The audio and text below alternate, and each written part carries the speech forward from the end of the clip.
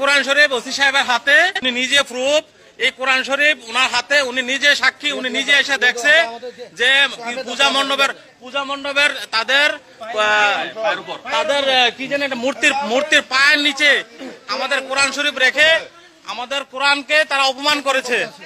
হ্যাঁ এই যে শত শত মানুষ এখানে আছে, এই যে ওসি সাহেব নিজে proof there is nothing fact all is real everybody is here আমরা ক্লাবে দিচ্ছি।